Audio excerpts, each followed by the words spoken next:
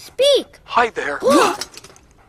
Did that dog just say hi there? Oh, yes. Bruh!